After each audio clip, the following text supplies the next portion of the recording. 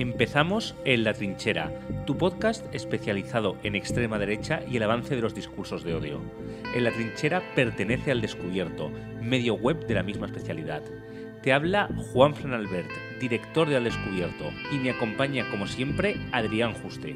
¿Qué tal Adrián? Aquí estamos.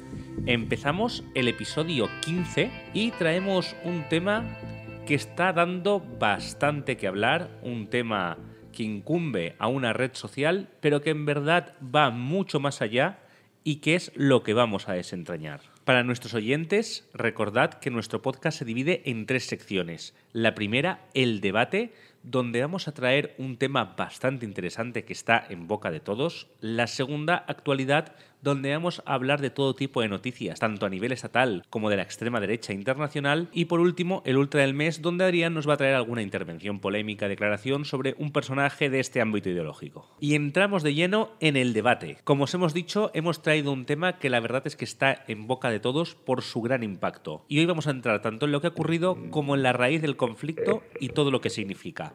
Hablamos de Elon Musk, del tecnofeudalismo y de la ilustración oscura. Conceptos que vamos a ir explicando. Primero que nada, para ponernos en contexto, tenemos que saber que Elon Musk ha comprado Twitter. Ha sido una operación que se ha alargado en el tiempo, ya que la primera declaración de Elon Musk sobre la compra de, de Twitter ocurrió hace meses y parecía que la operación no se iba a llevar a cabo, pero finalmente ha ocurrido. Y esta operación no es solamente una operación comercial, pues según palabras del propio Musk, él lo hace porque este es un conflicto para el futuro de la humanidad, por el progreso, según sus propias palabras. Algo que en verdad va en la dirección contraria de las intenciones de Musk y la camarilla que lo rodea. Pero, como toda historia, esta empieza por un principio. Así que vamos a hablar un poco de la figura de Elon Musk. ¿Quién es él? ¿Dónde empezó? y cómo hemos llegado aquí. Sí, porque la verdad es que Elon Musk es una figura, como has dicho, bastante conocida eh, y por supuesto ha saltado a, a, los periódicos y al panorama actual por no solamente por el tema de Twitter, sino por otras muchas cuestiones, ¿no? Twitter ha sido uno de los temas, pero también es célebremente conocido por sus empresas, eh, por sus declaraciones y por muchísimas cuestiones. Pero en realidad muy poca gente sabe, es curioso porque muy poca gente sabe acerca del pasado de Elon Musk, cómo llegó a ser lo que es, eh, y poca gente se lo pregunta, ¿no? Y es bastante curioso porque las historias que cuentan sobre él siempre es destacando, por lo típico, ¿no? Eh, un hombre hecho a sí mismo, eh, un visionario, y bueno, se ha rodeado de cierta, tanto él como buena parte de la prensa, de cierta aura casi mística, que sí que es verdad que se ha ido desmontando precisamente porque ha ido encadenando polémica tras polémica y fracaso tras fracaso, y uno de ellos lo que, hemos, lo que estamos comentando de, de Twitter. Actualmente Elon Musk, aunque se va disputando el puesto con Jeff Bezos y con, bueno, con buena parte de esta, de esta gente ¿no? del mundo tecnológico, actualmente es el, hombre más rico del mundo, ¿no? Tiene un patrimonio, según, eh, según la revista Bloomberg, tiene un patrimonio de unos 252 eh, mil millones de, dólares. Que posiblemente en estos momentos, fruto de la caída de Twitter, sea bastante menos. Si no me equivoco, este año había perdido 100 mil millones que ahí es nada. Claro, la cuestión es que para calcular el patrimonio de estos magnates, no, esta gente no tiene cash. O sea, o, si tiene, tiene no, no, tiene la mayor parte de su fortuna en, en una cuenta de un banco ya está, sino que lo tiene invertido pues, en acciones, inmuebles, propiedades, etcétera, y es ahí más o menos cuando se hace el, cálculo de, lo que puede tener. Y claro, eso va fluctuando bastante. Por eso a veces está más arriba, a veces está más abajo. La cuestión es entender que este señor pues, maneja bastante, ¿no? ya sea a través de sus empresas, a través de sus inversiones y a través de su actividad económica en general. La cuestión es que esta imagen ¿no? que se ha creado de Elon Musk como un emprendedor salió de la nada, ya de entrada es falsa porque justamente nació en una familia bastante privilegiada. De hecho, eh, poca gente lo sabe, pero Elon Musk nació en Sudáfrica, en la época del apartheid, además. Para la audiencia que no lo sepa, Sudáfrica vivió durante muchísimos años un régimen en el cual existía una segregación racial, ¿no? Es la, la traducción al castellano de apartheid, donde las personas de piel blanca no se podían mezclar con las de piel negra y bueno, había una discriminación brutal, ¿no? Que eso acabó pues cuando Nelson Mandela llegó al poder en Sudáfrica, bueno, así estaban las cosas por allí en aquel momento, pues la familia de Elon Musk vivía ahí. ¿Por qué? La cuestión es que Errol Musk, eh, el padre de, de Elon Musk, era copropietario de una mina de esmeraldas. Mientras que su madre provenía de una familia canadiense también muy bien posicionada. De hecho, bueno, hacían continuos, por lo visto, hacían continuos viajes eh, en avión entre Canadá y, Sudáfrica, lo cual pues no era, en los años 50 no era muy, muy barato, la verdad. Y esta fuente de riqueza hizo que, evidentemente, naciera en un ámbito de, posicionamiento ya de por sí en el apartheid, ya por ser blanco, pues ya estabas en una, en una posición privilegiada. Si encima eras copropietario de una mina de esmeraldas y tenías bastante dinero, pues no te quiero ni, ni imaginar. Este es un hecho, eh, el hecho de que fuera, el hecho de que su padre fuera copropietario de una mina de esmeraldas es un hecho que Elon Musk negó, pero lo negó justo después de que su propio padre lo hubiese confirmado. Efectivamente. Y además, como vamos a ver, hay cosas en la historia de Musk que no parecen cuadrar, porque vamos a hablar más adelante de sus titulaciones, que hay gente que las pone en duda si son reales o no. Mm. Parece que Elon Musk eh, en sus proyectos ha mentido mucho, de hecho algunos han fracasado, y él sabía que iban a fracasar antes de hacerlos. Y parece que con su historia también utiliza estas mentiras. Exactamente. La cuestión es que eh, sí que es verdad que Elon Musk empezó a programar bastante joven. De hecho, eh, su primer. Eh, la primera vez que ganó dinero programando fue con entre 10 12 años aproximadamente, cuando programó un videojuego con un Commodore. Pero claro, ¿quién tenía un ordenador en los años 80? La gente que tenía dinero. Es decir, no era era un privilegio en, aquellos momentos. Ahora todo el mundo tiene un ordenador, pero en el año 81 o algo así, que fue cuando, creo recordar, eh, cuando Elon Musk tuvo su primer ordenador, eso no lo tenía nadie. O sea, lo pudo tener precisamente porque vivía en una familia privilegiada y empezó a programar y empezó a aprender a programar precisamente por eso, ¿no? Evidentemente, que se le diera mal o bien es otra cuestión, pero lo pudo hacer precisamente por la familia en la que había nacido. La cuestión es que finalmente, em, por lo visto, pues, el matrimonio, pese a todo, pues no iba bastante bien. De hecho, se dice que que su padre pues maltrataba a su madre eh, físicamente, psicológicamente, y finalmente se divorciaron y su madre se llevó a su hijo pues, de vuelta a Canadá. Y ahí fue donde vivió un poco su juventud, ¿no? Siempre se destaca de esta época pues que se dedicó a varios empleos eh, poco remunerados, precarios, eh, bueno, pues lo típico, ¿no? De, de, la adolescencia, de la juventud, pues, los típicos trabajos de fin de semana y este tipo de cosas, que son una cosa que se destaca bastante, ¿no? Que pues él trabajó para pagarse los estudios y no sé qué, no sé cuántos. Pero la realidad, aunque sí que esto era cierto, la cuestión es que consiguió licenciarse en económicas y en física, en primer lugar en Canadá, o eso dice, ¿no? Eh, efectivamente, porque ahí es donde está un poco la sospecha, ¿no? La mayoría de medios, el relato hegemónico es que estudió ambas carreras. ¿Vale? Hmm. Hay fuentes, y esto hay que cogerlo con cuidado porque aquí somos cuidadosos. Está todo por las fechas un poco difícil de encontrar y difícil de saber por las influencias hmm. que tiene. Em, de si Elon Musk quizás no estudió hmm. ninguna carrera técnica, finalmente no se habría acabado. De hecho, él miente abiertamente con el tema a veces incluso del doctorando, que lo llegó a abandonarlo, eso incluso lo ha reconocido en el futuro, pero podría ser que no tuviera ninguna de estas carreras y que lo que tuviera sería una especie de diploma en, empresariales que eh, vendría arreglado por la gente de Silicon Valley. Muy llamativo este dato, pero ya os decimos, un poco difícilmente comprobable porque la mayoría de medios aseguran eh, su licenciatura en física y en economía. Pero mm. este dato empieza a estar cada vez más en tela de juicio. Sí, la cuestión, esto es una prueba ya de entrada que, él, eh, que la, influencia que él tenía, o sea, él estaba muy bien posicionado por la riqueza que tenía de base por la familia. Por eh, el capital social, por el capital social, el exactamente. a una élite. Claro, es decir, em, recibir el, espaldarazo o las inversiones o las ayudas de Silicon Valley, pues no es. decir, eso no lo puede conseguir cualquiera. De hecho, por lo visto, él intentó doctorarse en, la Universidad de Stanford, pero al final optó por fundar una empresa con su hermano Kimba, que es la primer, el gran primer proyecto empresarial de, Elon Musk, que es eh, Zip2. Zip2 es una, empresa, bueno, en, aquel momento Internet era incipiente, las nuevas tecnologías, todo eso pues era como el futuro, ¿no? Hablamos de, los años 90, etcétera. Y fundó una empresa dedicada a gestionar sitios web, ¿no? En aquel momento habían un montón, pues GeoCities, que era el sitio de Yahoo, Lycos, bueno, todos estos sitios que la mayoría han muerto ya, pero que, bueno, empezó a permitir que la gente pudiera tener eh, páginas web, empresas, etcétera, y él decidió junto con su hermano fundar una empresa que se dedicara a eso. Tras fundar la empresa, finalmente en el año 99 la vendió por unos 300 millones de dólares aproximadamente, de los cuales Musk se quedó unos 22 millones aproximadamente. Fue como su gran escrito empresarial, bueno, siempre se vende como eh, que fue el primer paso que dio para el éxito, etcétera, etcétera. El hombre etcétera. hecho a sí mismo, claro, Exacto. la gente se calla que recibió financiación de Silicon Valley Exactamente. para su proyecto. dices, Exactamente. bueno, No solamente recibió inversión, sino que recibió eh, influencia, ¿no? En ese sentido, para que su proyecto empresarial fuera conocido, funcionara, etcétera, ¿no? Y para que pudiese llevarse a cabo. O sea, no salió de la nada, no se juntó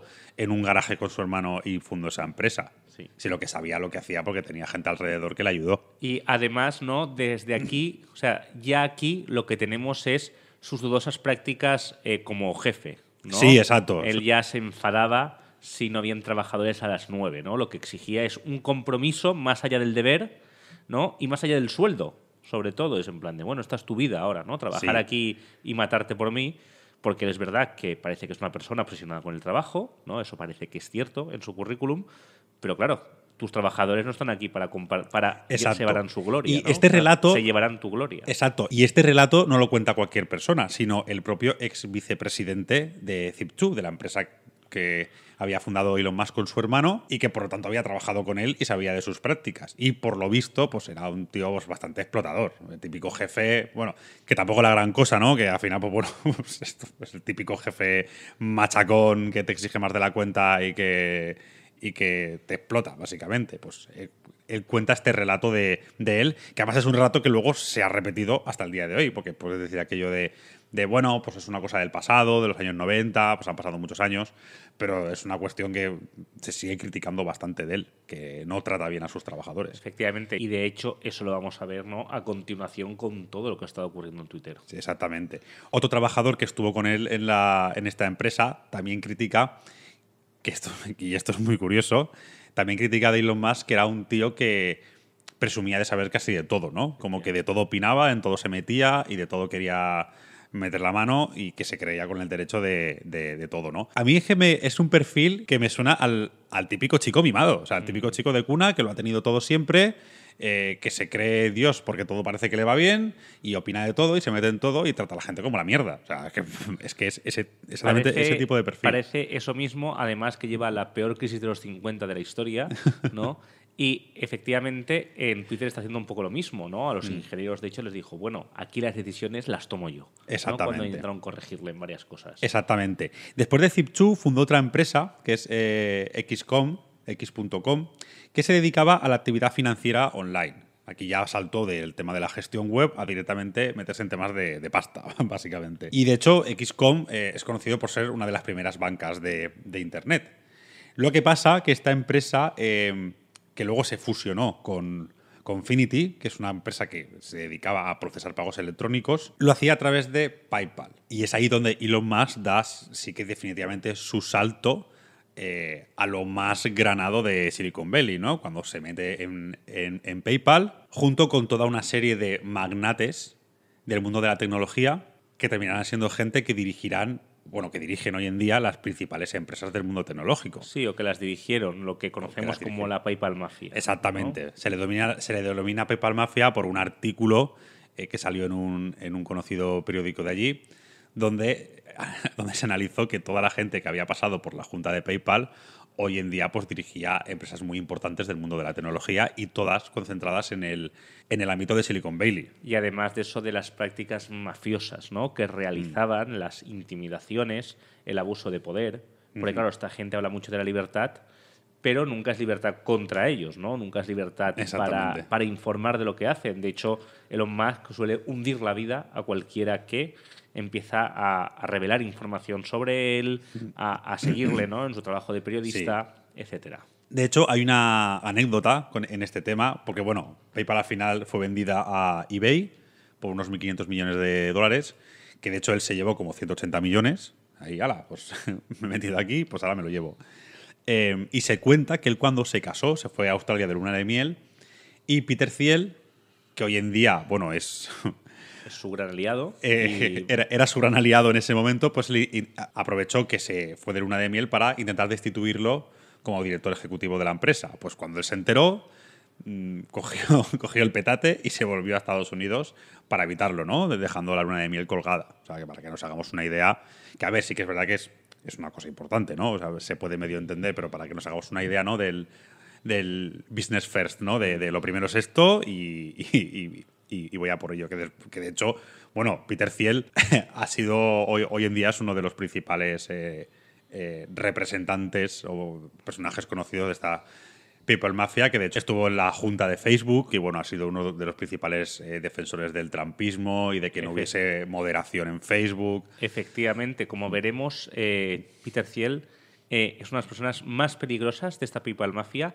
y además quienes están más impulsando por este deje reaccionario que vamos a ir viendo conforme avancemos en los conceptos de tecnofeudalismo y la ilustración oscura. Con toda la fortuna que había ama- amasado ya Elon Musk con estas pequeñas empresas que compró, vendió y bueno, por, como hemos visto, lo que, lo que ha caracterizado a Elon Musk es haber estado bien posicionado y haber partido con una gran ventaja de base. ¿Vale? Y haber sido y haber sabido estar en el momento indicado, en el momento, en el lugar propicio. Pues a partir de aquí, con todo este dinero que ha amasado, empezó, digamos, su carrera en solitario, entre comillas, ¿no? Es aquí cuando él empieza a fabricarse esa imagen de visionario, ¿no? Visionario del mundo de la tecnología y con esas ínfulas de querer cambiar el mundo, ¿no? esas ínfulas de progresista en ese sentido de cambiar las cosas desde la tecnología, ¿no? Esto que suena tan bonito.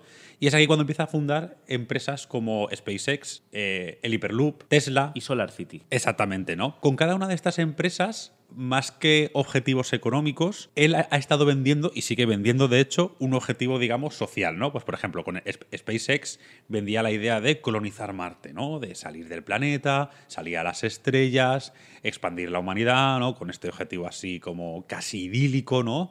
Eh, rememorando un poco pues, los grandes viajes de la humanidad y todo este rollo. Con el Hyperloop vendía la idea de un transporte rápido y sostenible que uniese a todo el mundo, etcétera. Con Tesla, pues todo el tema de los coches eléctricos, también la sostenibilidad, eh, que todo el mundo pudiera mm, costearse un coche que fuera sostenible, etcétera, etcétera. Con Solar City, pues todo el tema de la energía solar y también pues las energías renovables y todo esto. Luego con Neuralink y todo lo que tiene que ver con la IA, pues lo mismo, ¿no? Eh, vender la, la idea de una tecnología superior. Bueno, al final te vendía el futuro con el que todo el mundo soñamos. Efectivamente. De, de yo lo voy a hacer posible. Y al final, ¿no? Pues lo que hemos descubierto es. Spoiler, como- sale mal. Y al final lo que hemos descubierto, ¿no? Es que como Iron Man, ¿no? Ese multimillonario filántropo, ¿no? Mm. Que lucha por el futuro de la humanidad, realmente tiene unos objetivos bastante oscuros, por no decir que la mayoría de lo que está vendiendo es humo. ¿no? Exactamente, sí, Porque sí, sí. ¿qué ha pasado con sus empresas, no? Por un lado tenemos a Tesla. Eh, Tesla que ha sido su mayor éxito, pero eh, no ha sido un éxito racional. ¿Por qué? Tesla ha llegado a estar más valorada en bolsa que varias empresas automovilísticas de la competencia juntas. Algo que no tiene sentido viendo la cantidad de coches que hace Tesla al año, que son miles. Es decir, no tiene, no tiene comparación con algunos de sus rivales en algunos momentos históricos. Exactamente. Pero ¿qué hacía Elon Musk? Elon Musk te vendía esto como el futuro, ¿no? Una realidad que no está muy clara que pueda realizarse por los problemas que están teniendo las baterías y en especial algunos de sus elementos como el litio. Luego, además, tenemos otra de sus empresas, Hyperloop. Hyperloop, que bueno, como has dicho, ¿no? Conectar grandes masas a velocidad, a velocidades enormes, conectar el mundo. Una idea que ya en su momento muchos científicos decían. La Esto no claro. La infraestructura de esto, Esto es una locura. claro. Aparte de lo de mandar gente al por el vacío. Que el vacío revientas, ¿no? Hasta que mejore, hasta que en teoría tienes que mejorar esta tecnología. Pues ahora parece que sabemos que todo esto lo hizo para evitar que se construyera una línea de alta velocidad. Entonces lo que propuso fue la idea súper loca del Hyperloop, diciendo que ahora una línea de alta velocidad se quedaría atrás con el futuro. ¿Te recuerda el capítulo este de Los Simpson con el monorraíl? Efectivamente, claro, es que va un poco por ahí, ¿no? Este señor que tiene bastante trilero. Luego tenemos el tema de sus otras empresas, el tema de SpaceX y la colonización de Marte. Una cosa que no está tampoco muy clara si ya puede realizarse o cuánto va a acabar costando. Y sobre la eterna duda, ¿no? De ¿es mejor terraformar Marte o salvar la Tierra? ¿Qué es más caro y qué, y qué ayuda mejor? Pero claro, todo esto va en relación con el tecnofeudalismo del que vamos a hablar. Claro, la cuestión con el tema de viajar a Marte, la verdad es que de todas las ideas de Elon Musk, esta sí que es verdad que es un poco la que, la que más proyección pa- parecía tener, porque tenía los medios, la inversión, lo tenía todo. El problema es, primero, que vendió unas metas eh, irrealizables, en plan de para el año 2025 o algo así, ya estaremos en Marte. dices, a ver, podemos empezar ahora a hacerlo, pero esto, mm, espérate porque vamos a tardar muchas décadas. Y segundo, que contraviene prácticamente todos los principios que han establecido los científicos de cómo debería de ser una colonización de Marte. Por ejemplo, muchos han dicho que primero habría que empezar colonizando la Luna y luego a partir de ahí eh, plantearte otro tipo de viajes, otro, otro, tipo de cuestiones. Y no planteaba tampoco cómo establecer una colonia, cómo establecer, o sea, cómo iba a vivir la gente ahí.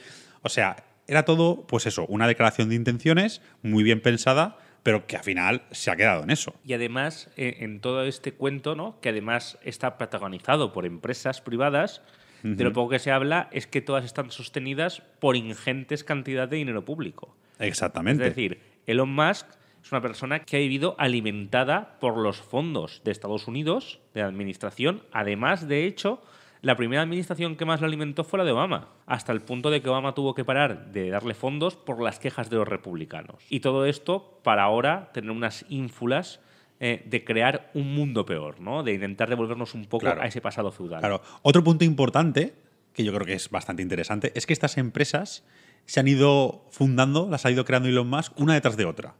Era, era de, proyecto loco en proyecto loco.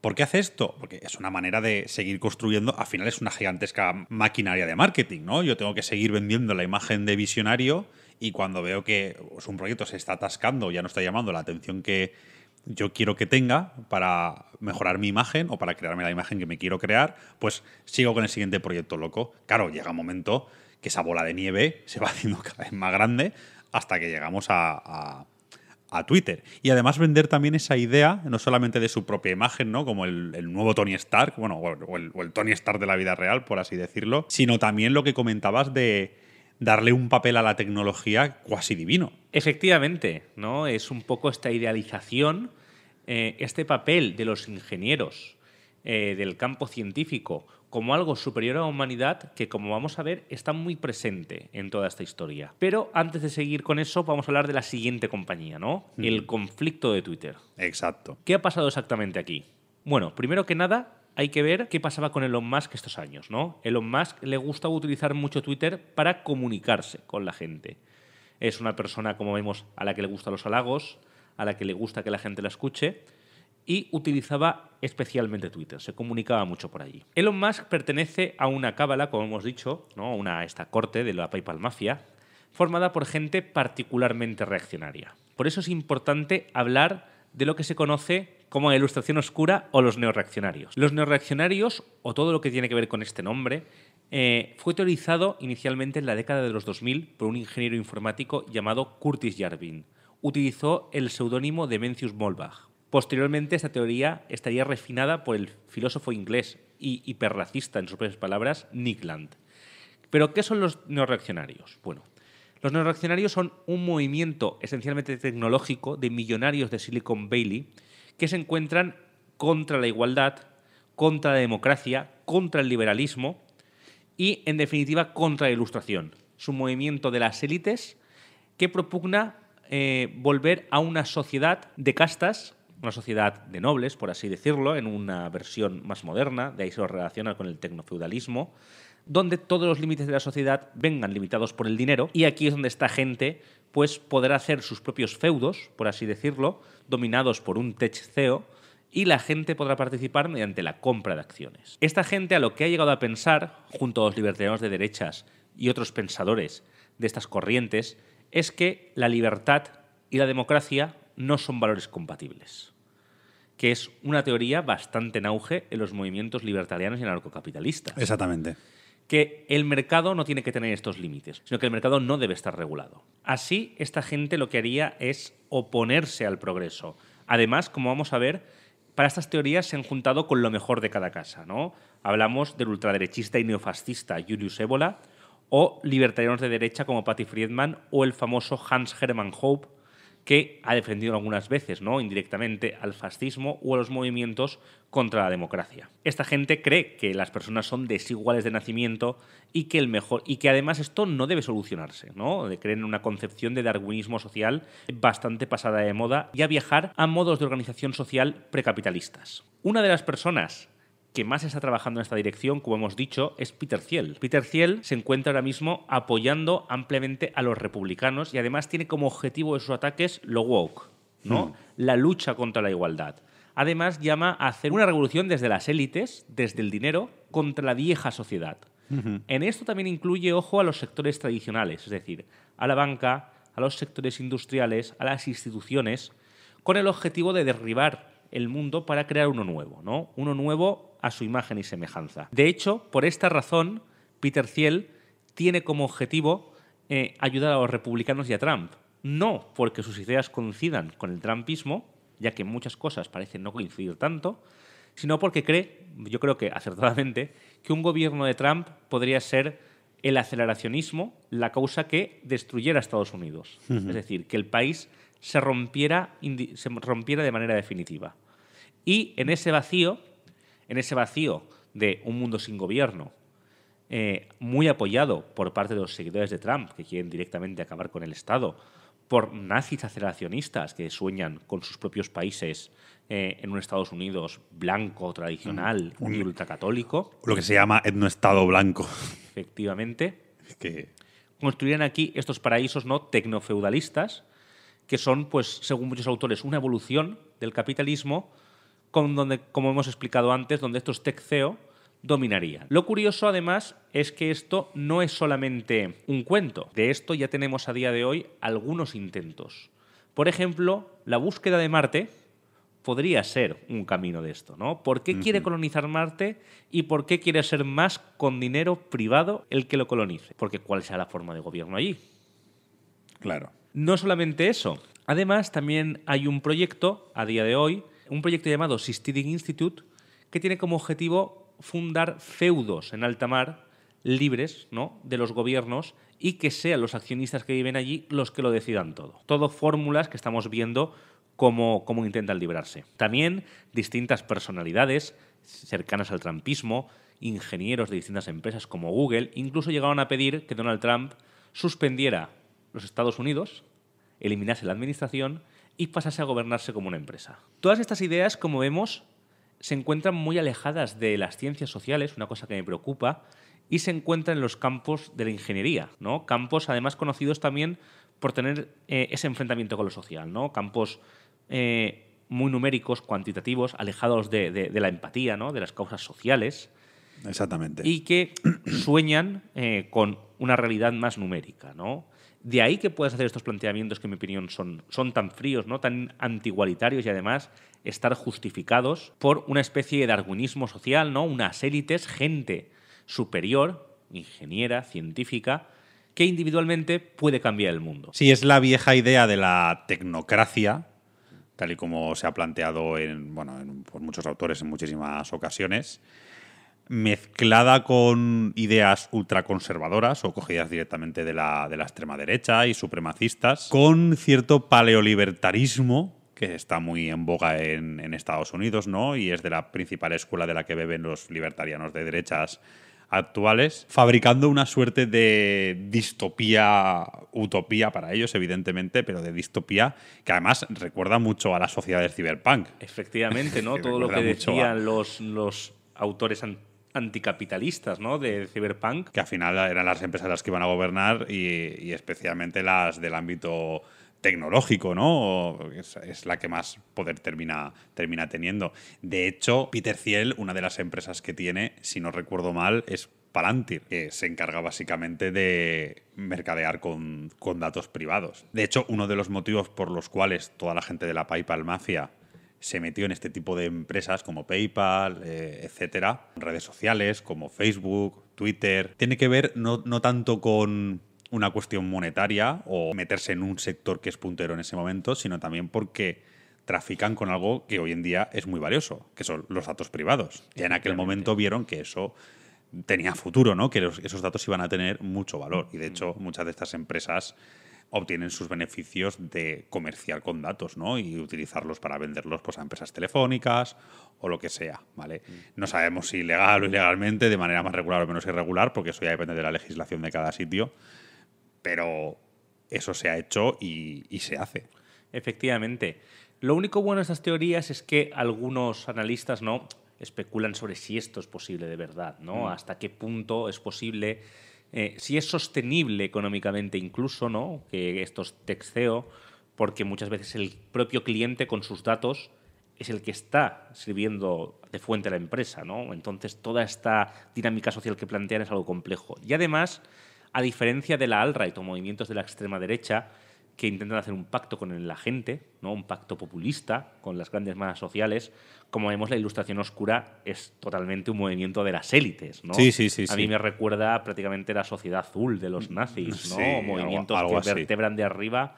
Solamente que en la sociedad del conocimiento, el dinero y el individualismo podría funcionar. ¿no? Desde luego, además, esta gente está haciendo todo lo posible para que esto funcione. De hecho, como anécdota, eh, esta gente está tan en su nube que son declarados natalistas, pero de las élites, ¿no? Es decir, lo que ellos quieren es tener muchos hijos con el objetivo de que estos hijos sean superiores, sean los, hijos que a su vez dominen el mundo, gracias a su dinero, y a su vez a seguir teniendo muchos hijos, y además que estos hijos sean superiores al resto. ¿Cómo? Eh, mediante varios métodos. Una, mediante las prácticas genéticas para detectar a los genes superiores, algo que genéticamente, biológicamente puede ser un poco chorrada, Y suena un poco a nazismo. Exacto. Y por otro lado, mediante la modificación, mediante el transhumanismo. El mismo Elon Musk tiene 10 hijos con diferentes mujeres. Y lo mismo muchos de los multimillonarios de Silicon Valley. Además, la mayoría de estos millonarios, para sorpresa de nadie, se están muy cercanos al trumpismo, son prácticamente todos blancos, conservadores, etcétera, etcétera. Sorpresón. De hecho, eh, además de eso, como, como añadido, una de las empresas de Elon Musk, eh, Neuralink, está bueno, muy en la línea del transhumanismo. y en la de las prácticas salvajes. Ahora mismo, si no me equivoco, han muerto el 90% o el 98% de los simios en los experimentos, que creo que han sido unos 3.000. De verdad que cuando mataste los 100 primeros o los 20 primeros no decidiste parar el experimento. He tenido que matar... Y, exacto. Y ahora ha dicho que ya está preparado para hacer pruebas en humanos. Eso- Y esto es muy curioso. Póntelo tú. Póntelo tú, ¿eh? Porque esto es muy curioso, ¿no? Las vacunas que iban a meter chips, pero que él te meta un chip en el cerebro, ¿esto no lo ven mal la extrema derecha? O sea, La verdad es que bastante, bastante loco, ¿no? Y habrá gente que lo, vamos, que lo vea mal, porque eh, quiero decir, la verdad eh, en este caso es abrumadora, ¿no? la verdad es que sí, eh, seguiremos un poco atento al avance de Neuralink, pero toda esta historia es importante porque se conoce muy poco todo lo que hay tras este movimiento, que parece de ciencia ficción, y en cambio está bastante documentado. La verdad es que desde aquí tenemos que dar las gracias a Jaime Caro, un investigador que la verdad es que nos trae lo último siempre de movimientos, lo último de sindicatos, muy movimientos sociales en Estados Unidos y hace un gran trabajo de divulgación y es un poco el que ha puesto sobre la mesa, ¿no? al menos en, en- en España, ¿no? en, en el ámbito este académico, ¿no? en el que estudiamos un poco, en el ámbito de redes, en el que estudiamos a la extrema derecha, pues lo ha sacado un poco a la luz, ¿no? Yo, por ejemplo, sí conocía cosas de Ciel, pero no, no sabía ni siquiera ¿no? el, hasta qué punto este movimiento, todo lo que tenía detrás, ¿no? Entonces, desde aquí, darle las gracias y recordaros que podéis seguirle en Twitter en arroba jaimecarom o leer su blog jaimecarom.substack.com. Sí, la verdad es que hace un buen trabajo investigando todo esto y, bueno, también lo hemos llegado a, a traer a algún directo de, de Twitch, porque la verdad es que sabe bastante de estos temas. Y siempre está bien pues, conocer a otros divulgadores y darles un poco de publicidad. Y bueno, todo esto ya nos lleva a Twitter, ¿no? Porque, ¿qué tiene que ver? ¿Por qué Elon Musk, una empresa de tecnología que le gusta hacer mucho dinero, de repente un día se levanta y decide comprar Twitter y además dice que es por el futuro de la humanidad? Y Peter Thiel está detrás y los tecnoreaccionarios. La mayoría de gente que nos está oyendo ya empezará a estar sumando, ¿no? ¿Qué tiene que ver todo esto? Bueno, esta gente, estos, estos, estos neoreaccionarios, estaban muy preocupados por el tema de la moderación de contenidos, por limitar los discursos de odio, por limitar los discursos contra la igualdad. ¿Y qué pasa? Entonces ellos quieren darle la vuelta a esto. Además, intentar favorecer a los conservadores. ¿Cuál fue la acción? La acción, pues parece que es comprar Twitter. ¿no? Twitter, la verdad es que, con todos sus fallos, más o menos estaba poniendo seria en intentar limitar los discursos más peligrosos. Había puesto ya limitar los bulos sobre el COVID, eh, sobre ciertas teorías sin ninguna base que ya están causando muertos, como QAnon, y además los discursos de odio, ¿no? A muchos nazis, a mucha gente de extrema derecha, ya se le había echado de Twitter. Y este dijo, pues esto no, va, esto no puede ser. e hizo una oferta, además disparatada, por el precio de Twitter, ¿no? Creo que ofrecía 54,20 dólares por acción, un precio bastante por encima del mercado de Twitter y además con un toque troll que le gusta a él, ¿no? Porque recordemos que 420, para la gente que no lo sepa, es del cannabis. va con ese rollito incorrectito, ¿no? De, de, fuma porritos el hombre este, va con ese rollo. Entonces, inicialmente Twitter se tomó muy mal, de hecho no quisieron ni intentaron protegerse para, para hacerlo, pero Musk quiso comprar Twitter. Pero con los datos sobre las cuentas de, de bots y tal, intentó echarse para atrás. Todos esperábamos que se echase para atrás, pero Twitter entonces lo que quería es que le comprasen. De hecho, parece que el director ejecutivo era bastante amigo de Musk. Y finalmente, Musk no quería comprar Twitter porque además arriesgó buena parte de su fortuna. Recordemos que pidió bastantes créditos para la compra de Twitter y además eh, tuvo que vender acciones de Tesla para garantizar esta compra, que representan buena parte de su fortuna. Y de repente, en medio de los pleitos para no comprar Twitter, un día dice que lo acepta y que compra Twitter. Y en todo este proceso parece que la PayPal Mafia estaba detrás, ¿no? La PayPal Mafia, Peter Thiel, que de hecho fueron los que negociaron bastante para conseguir enorme crédito, porque Twitter cuesta 44 mil millones, de los cuales Así es. Musk ha puesto, creo que solo una parte. El resto son créditos de otras empresas, etcétera, etcétera. ¿Cuál es el objetivo? El objetivo es conseguir un pozo de odio en una red tan potente como Twitter, ¿no? Una red conocida porque mucha gente relevante, políticos, periodistas, actores, están allí compartiendo su pensamiento, atrayendo sus seguidores y además mucha gente divulga.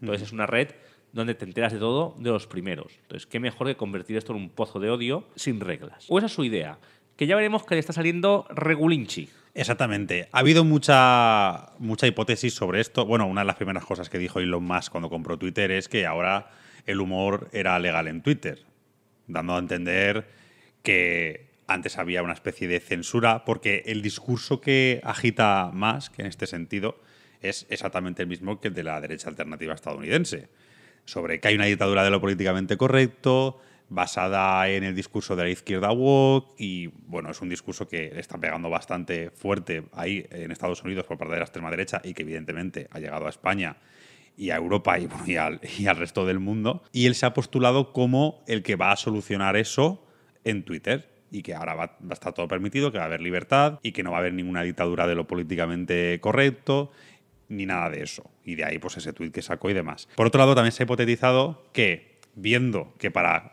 poner dinero y comprar Twitter, lo que ha hecho Elon Musk es vender muy buena parte de las acciones de Tesla y con eso comprar Twitter, que también haya podido ser una maniobra económica para evitar todas las pérdidas económicas que le iba a suponer Tesla. Porque Tesla se sobrevalorizó bastante, como bien has comentado antes, llegando a costar 400 dólares cada acción y poco después ha terminado costando la mitad. Es decir, ha perdido la mitad del valor cada acción de Tesla, que eso es una barbaridad en bolsa, eso es una barbaridad. Entonces también puede ser que haya aprovechado este movimiento para salvar un poco el culo económicamente. Sí, ha, sido un poco de todo, porque también eh, cada paso lo ha enfangado un poco más. Es decir, su errática entrada en Twitter, además con un perfil cada vez más político y alejado de la técnica, ¿no? alejado de ese tecnócrata exitoso, ha ido que la confianza en su empresa ha ido bajando y a su vez en Tesla. ¿no? De hecho, sus acciones siguen y siguen bajando. Y es que su entrada ha sido como la de un elefante en una cacharrería. Este hombre que era como el genio del futuro, que va a venir a solucionar las cosas. Y la verdad es que se está demostrando bastante torpe en la gestión. Y sobre todo, quizás incluso también más que torpe, comportándose un poco como un niño en algunas cosas que ahora veremos. Lo primero que, que quería hacer Musk era despedir a buena parte de la plantilla que, según su opinión, estaba sobredimensionada. Recordemos que en Twitter había, es cierto, bastantes trabajadores y con bastante buenos sueldos. Lo que, ojo, también es una táctica comercial. Es decir, porque el mundo de la tecnología es pequeño y si tienes a las grandes mentes en tu empresa, no están en la competencia. Pero bueno, lo primero que hizo Musk fue mandar cartas a sus empleados y antes de eso vetarles el acceso a Twitter, despidiendo a muchísimos empleados creo que a la mitad de la plantilla, si no me equivoco. Aproximadamente, sí. ¿Qué pasa con eso? Que este hombre se cree que todo es Estados Unidos. Y exactamente, si no me equivoco, las leyes de California. Entonces, claro, ha despedido a mucha gente y, por ejemplo, la mayoría de ingenieros europeos no, no puede despedirlos. No puede despedirlos el mismo día por mail, habiéndoles vetado antes la entrada. Así que se ha conseguido readmitir a mucha gente de manera temporal hasta que veamos qué pasa con las consecuentes multas y sueldos que va a tener que pagar. Eso por un lado. Luego, fue incapaz de calcular hasta qué punto necesitaba esa gente. Después de despedir a traición a muchos de estos ingenieros e ingenieras, ocurrió que les llamó a algunos para que volvieran a trabajar, ya que ese talento, esos secretos de Twitter, solo sabían ellos. No había nadie más que pudiera ayudarle. Entonces, eso fue ya una muestra del error, ¿no? Una muestra de, tu grandilocuencia, ¿no? Tu, que te crees que lo sabes todo pero en verdad no, no, tienes por qué saberlo. Aquí las empresas ya empiezan a asustarse. Eh, como es obvio, las primeras que se retiraron fueron las automovilísticas. Claro, no van a estar poniéndose publicidad en la empresa de un competidor, el dueño de Tesla.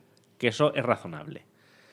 Pero la realidad es que muchas otras empresas empezaron a retirarse, al menos hasta que vieran qué estaba pasando. La idea de Elon Musk, además, fruto de que Twitter se iba a convertir o su idea es en un pozo de odio, ¿no? Él se declara a sí mismo un absolutista de la libertad de expresión. ¿Qué significa absolutista de libertad de expresión? Pues libertad para decir las barbaridades y los discursos de odio que tú quieras. Siempre que no sean contra él, porque las cuentas que van contra él las censura, ojo.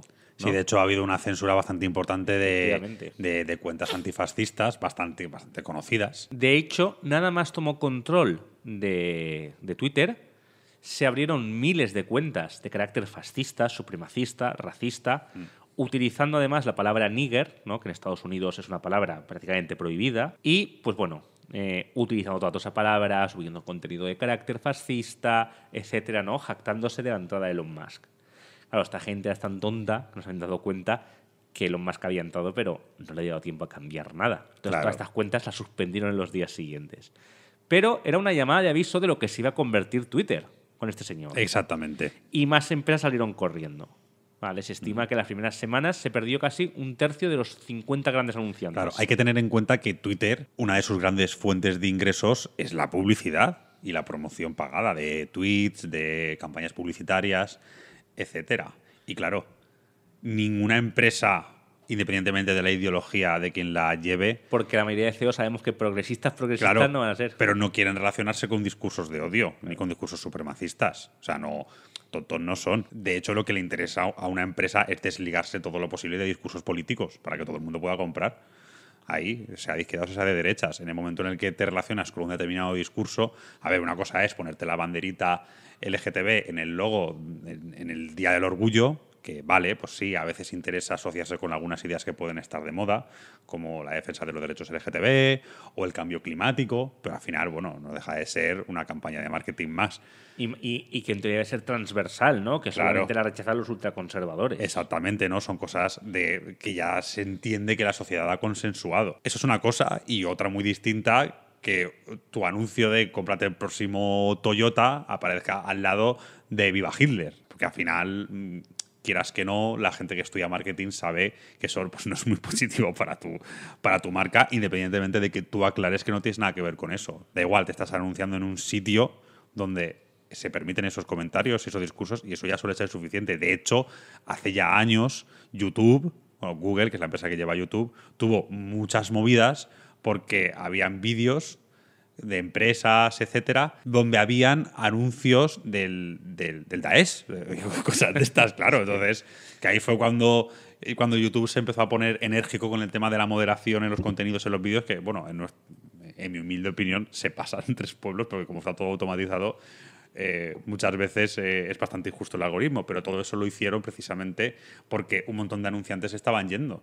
¿vale? También pasó justo al revés. En los vídeos del Daesh de repente pues aparecían anuncios de, mira, mientras estás viendo cómo, este señor quiere decapitar a medio pueblo, cómprate un Toyota, ¿sabes? Es como, es como claro, eso, eso era muy, muy, muy problemático. Y de ahí que lo que hizo Google fue precisamente aumentar el control de contenidos. Mm. Claro, cuando este señor, Elon Musk, quiere hacer todo lo contrario con Twitter, pues los anunciantes salen corriendo, es que es lógico. Es lógico, sí. Además que YouTube también... Eh, habría que mucho hablar de su algoritmo, ¿no? Y de qué beneficia, pero bueno. Exactamente. Eso sería otro tema. Y efectivamente, ¿no? Muchos anunciantes salieron corriendo tras la estampida nazi, pero esto no podemos decir que estaba fuera de la idea de Elon Musk. porque, sabedor de que esto iba a ser un pozo de odio y que las empresas no iban a pujar en él, quería convertir a Twitter en una plataforma de pago, de que muchas funciones estuvieran eh, relacionadas con que tú pagas. Exactamente el Twitter Blue para oficializar tu cuenta y además que Twitter se convirtiera en una plataforma donde pudieras comprar más cosas. Incluso pensó con la idea de que todo Twitter fuera de pago. ¿Qué ha pasado con, con esta idea? Bueno, lo primero que le dijeron muchos de sus ingenieros era que esto no podía ser rápido. A lo que Elon Musk dijo que si no era rápido, los despediría. Y además les exigió jornadas de 12 horas o 14 horas y dormir en las oficinas hasta que Twitter Blue estuviese en funcionamiento. Efectivamente, Twitter Blue estuvo en funcionamiento de manera muy rápida. Creo que se lanzó el 8 de noviembre, que era la fecha que, que dijo, y fue un desastre. ¿Por qué? Porque el sistema estaba montado, pero no había moderación. ¿Qué ocurrió con esto? Pues aparte de que vimos un montón de cuentas con propaganda fascista verificarse, el mayor problema vino por cuentas que se hicieron pasar por compañías. Claro. Porque como veremos, este nuevo check que vendría a sustituir el antiguo parcialmente, ya que luego se creó otro check para personajes que ya eran famosos, eh, afectó gravemente a algunas empresas. ¿Cómo? Estos son el caso de Eli Lillian Co. y Lockheed Martin Corp. La primera de ellas, de insulina, una de estas nuevas cuentas fingió ser esta empresa. ¿Qué ocurrió? Que dijo en una de sus tweets, ¿no? que la gente pensaba que era oficial, que la insulina a partir de ahora sería gratis, uno de sus grandes negocios. La empresa se dio inmediatamente un morrazo contra el suelo, perdiendo el 5% de su valor en bolsa. Algo parecido ocurrió con Lockheed Martin, eh, una empresa de armas que anunció eh, que no vendería armas a distintos países, entre ellos Arabia Saudí o Israel, cayendo inmediatamente en bolsa tras el anuncio. Además, es muy curioso el talante de Elon Musk. ¿no? Él empezó, el primer tweet, sí, unos primeros de el humor ha vuelto a Twitter.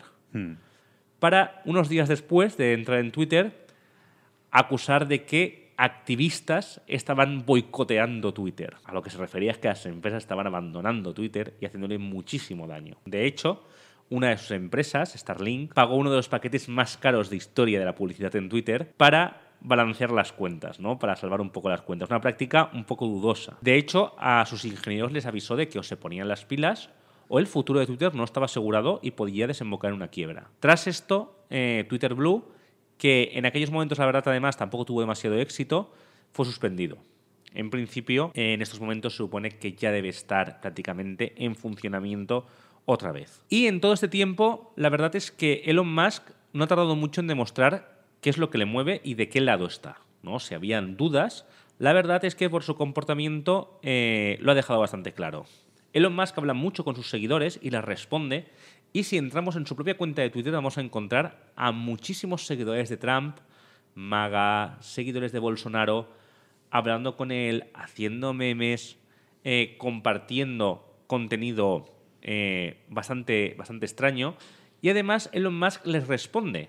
Siempre intenta ser un poco como que no está tan claro que es de los suyos, pero siempre responde a ellos y les hace caso, hablando incluso con supremacistas blancos de cuentas que luego resulta que son suspendidas. Además, eh, Elon Musk, en las pasadas midterm, pidió el voto para los republicanos. Por supuesto, dijo que él no era ni izquierdas ni de derechas, ni se podía entender que estuviera en ese eje, eh, como se entiende normalmente, sino que lo hacía, pues bueno, ya que los demócratas están en el gobierno, que haya un contrapoder. Y tú, a ver, que no cuela, ¿vale? Que no cuela. Y poco después hizo una encuesta, tras, la de, tras el mal resultado de los republicanos, para que Trump volviera a, Twitter. Una encuesta entre sus seguidores que salió, ganando, que salió ganada por lo de Trump y por supuesto él está repitiendo una frase que le gusta bastante, Vox Populi, Vox Day. Una cosa bastante falsa, ya que el 70% de sus seguidores son bots. Y, y, aún así salió muy ajustada. Y salió muy ajustada. vale. Y bueno, Trump volvió, pero Trump ya dijo que él estaba muy bien gustito en, en Truth Social, en su red, y que por lo tanto no irá a otra, no se va a fastidiar su propio negocio. Después Elon Musk hizo otra, hizo otra, otra encuesta para hacer una amnistía general, es decir, para que toda la extrema derecha y todos los neonazis vetados vuelvan a Twitter. Eh, esta encuesta también, por supuesto, la ganó con sus bots y ha declarado que haría una amnistía general, que en estos momentos aún no la ha hecho, pero se espera que la haga. De hecho, ya volvieron personajes radicales como Kanye West, que como veremos más adelante, eh, a los pocos días fue suspendido otra vez por su, por su discurso de odio antisemita. En definitiva, esto es un poco lo que está pasando en Twitter, cómo está utilizándolo además como arma, y no está nada claro todo lo que está haciendo porque mientras la empresa no le va bien, la empresa no para, de hecho Twitter está valorada originalmente creo que en 44.000 millones, que fue su precio de compra, y ahora creo que está valorada en 16.000. La conducta es muy errática porque se dedica a publicar memes. es decir, se ha dedicado a publicar shitposting, que se llama, memes Sí. absurdos y tal. ahora quiere hacer una guerra con Apple porque ex- dijo que Apple le cobraba el 30% de todo, que es falso, Apple se queda el 15%.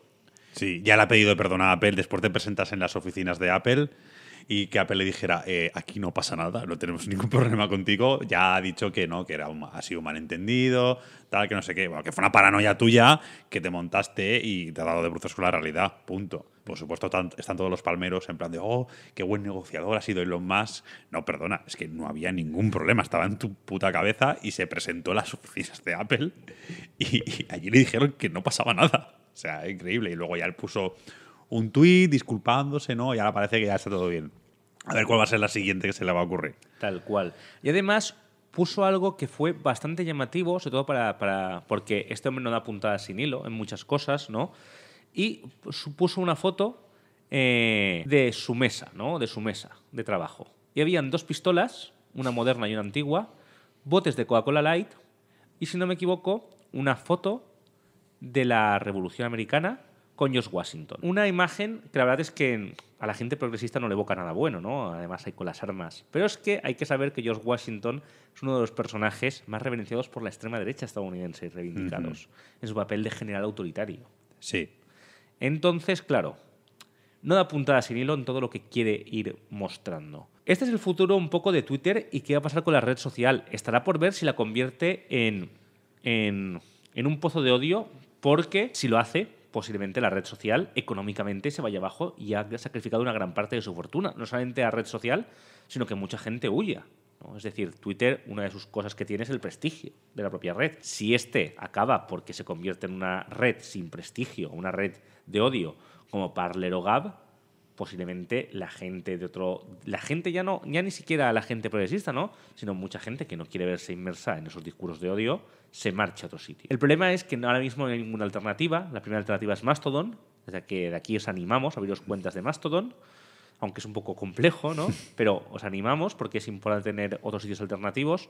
Pero es verdad que a día de hoy es complejo que Mastodon pueda absorber eso y aparte técnicamente es compleja. Pese a todo, el futuro de Twitter en este caso pues no está claro, ¿no? Y no sabemos qué puede pasar, pero Elon Musk parece dispuesto a sacrificar parte de su fortuna y convertir Twitter en este pozo de odio. Claro, lo, lo llamativo de aquí, porque empresarios del mundo de las tecnológicas que han tenido conductas erráticas, pues bueno, eso ha pasado toda la historia con todo- todos los empresarios del mundo y tiene que ver con la conducta humana y en principio, pues oye, no pasa nada, ¿vale? Te puedes equivocar, la puedes cagar, es decir, tampoco va por ahí la, la- la cuestión. La cosa es que este señor es que es un, es que es un fraude en toda regla. Es decir, no ha pasado con ninguna otra gran empresa. Sí que es verdad que, bueno, Mark Zuckerberg con Facebook, pues ha hecho alguna cosa polémica, eh, ha incumplido alguna, alguna ley con el tema de la protección de datos, se le ha tachado de ser flojo con el tema de la moderación, pero bueno, Facebook es una empresa que ha funcionado bien.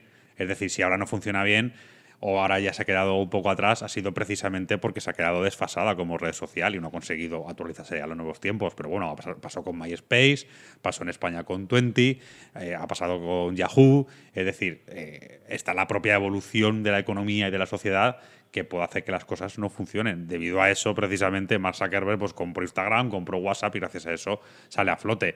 Donde está fracasando es con el tema de Meta. El que es- metaverso del siendo metaverso una máquina de quemar dinero. Eso es una máquina de quemar dinero, ¿vale? Pero bueno, es la gran equivocación, ¿no? De, de- probablemente de su vida y también está por ver eso cómo va a, a evolucionar. Con Google pues también han pasado muchas movidas, pero es una empresa que funciona bien, que compró YouTube y le ha salido súper rentable, Amazon con Twitch, es decir, son empresas que pese a todo, la gente que está detrás pues ha sabido hacer más o menos bien las cosas, independientemente de su ideología o de quienes sean. Pero es que Musk, trasto que coge, trasto que, trasto que se carga. O sea, es, es un hombre fab- es un, es un hombre es un hombre prefabricado. Su imagen, sus ideas, es y no entiendo muy bien por qué. O sea, había, había mucha gente detrás que podía haber hecho bien estas cosas o que podía haber llevado buen término estas ideas. La cuestión es por qué este señor está ahí haciendo estas cosas y por qué hay tanta gente que le está bailando el agua. Esa es la parte que a mí, de verdad, que, que se me escapa. Imagino que es porque está forrado. Efectivamente, de hecho, eh, ya ha dicho que él no va a contar mucho como CEO de Twitter y que posiblemente entre otra persona. que sería lo lógico. Que dices, vaya, quizás es que no estés acertando mucho con tus decisiones. Claro, ¿eh? es que tú te puedes quedar como socio capitalista y, que te- y que la empresa la lleve otro. Y tampoco pasaría nada, lo hace mucha gente, no hay ningún problema. Pero es que no tiene, no sé, no tiene ningún sentido y evidentemente esto es lo que pasa cuando chocas con la realidad, ¿no? Estás con el discursito de la teoría de la conspiración, de la izquierda woke y todo este rollo y claro, cuando sales de tu burbuja política te das de bruces con, con- la pura realidad. Y es que Twitter no ha sido nunca un sitio donde se censure a la gente por sus ideas. Lo que hay en Twitter es lo que hay en cualquier red social. Unas normas que rigen de lo que se puede hablar y de lo que no se puede hablar, precisamente para evitar eh, cuestiones delictivas, eh, mercado negro, amenazas, agresiones, delitos de odio, etcétera. Que eso es lo normal. Cuando tú vas de abanderado de que eso lo vas a quitar, pues, te, pues, pues tienes, este es el resultado que tienes. Ahora te lo comes. Claro, y aparte de eso habrá que ver, porque claro, esta gente de la extrema derecha siempre van, porque además hay que encajar a Elon Musk ahí, ¿no? Mucha gente aún duda, no, hombre, ¿cómo encajas a Elon Musk ahí? Dice, "Pero, eh, ¿qué más pistas quieres? es tecnología de pistas esto. Eh, claro, esta gente además se creen que ellos son, a lo mejor ellos se creen que son la mayoría, ¿no? Que ellos ejemplifican el pensamiento de la mayoría de gente. Y dices, no, no sois mayoritarios. La mayoría de gente no es tan loca como vosotros. ¿vale? No comparten estas ideas. Y también, como, como reflexión final, lo único es cómo estamos viajando, ¿no? Hasta qué punto estamos yendo de que nuestras principales redes de comunicación estén cada vez más en manos de un multimillonario, ¿no? Que hace lo que quiere con eso. Es verdad que algunos son más solventes o menos, ¿no? como a lo mejor Jeff Bezos con Twitch, que bueno, pero la verdad es que es peligroso, ¿no? Porque es darles un poder absolutamente desmedido, ya no solamente de capital, ¿no? Sino de, de comunicativo, porque claro, llegan de repente saltándose todas las reglas, como ha hecho Musk, y decir, bueno, si puedes hacer lo que quieras sobre unas redes de comunicación más importantes del planeta, ¿no? ¿Qué está pasando aquí? La verdad es que creo que hemos hablado largo y tendido del tema Sí. de Elon Musk. Había mucha tela de la que cortar. Sí, la verdad que sí. Y vamos a seguir un poco atentos a todo lo que, todo lo que está pasando, cómo va a usar esta arma contra los demócratas y contra el progresismo, porque es su objetivo, y posiblemente darle más pábulo a la extrema derecha, y es algo que seguiremos analizando y denunciando. Sí, yo creo que ha sido una charla bastante interesante. Eh, como dices, hay mucha tela que cortar y bueno, nos hemos dejado bastante cosas en el tintero. Pero sí que nos hacemos una idea bastante, bastante general de quién es esta persona, de quiénes son los tecnofeudalistas, del peligro que tiene esta gente y sobre todo del peligro que representan unas personas cuando tienen tantísimo poder económico y ya veremos en qué acaba. Y antes de pasar a la siguiente sección, me gustaría recordar a los oyentes que pueden seguirnos en nuestras redes sociales eh, con el nombre de Al Descubierto y además seguir apoyando y, a este proyecto que nos cuesta, pues bueno, muchas horas de esfuerzo Así y de es. trabajo eh, haciendo suscriptores en nuestra página web www.aldescubierto.org. Tan solo desde un euro podéis haceros suscriptores en las que encontráis diversas modalidades con distintas ventajas para permitirnos mantener nuestra labor para seguir informando sobre las actividades de la extrema derecha. Y ahora pasamos a actualidad, donde vamos a hablar de las noticias más relevantes que ha pasado estas últimas semanas sobre la extrema derecha. Y empezamos por Estados Unidos, donde la verdad es que han habido tristemente varios acontecimientos. La verdad es que el primero no es triste, es curioso y revela un poco cómo funciona la extrema derecha y tiene que ver con Kanye West. ¿Qué ha pasado exactamente? Porque la verdad es que está un poco también en la boca de todos. Exactamente lo que ha pasado es que Kanye West participó en el espacio de Tim Pool, un conocido youtuber eh, de Estados Unidos, que se hizo famoso cubriendo los eventos de Occupy Wall Street. Tim se presenta como un centrista, pero la realidad es que cada vez se ha ido escorando más hacia la derecha y dando espacios a personajes de la extrema derecha estadounidense. Y organizó una charla en la que participaba Kanye West, el supremacista Nick Fuentes y el conocido Milo Yiannopoulos, el infante terrible de la alt-right. ¿Qué pasó en esta charla? Bueno, como os podéis imaginar, esta charla fue bastante loca. Pero Kanye West fue un paso más allá.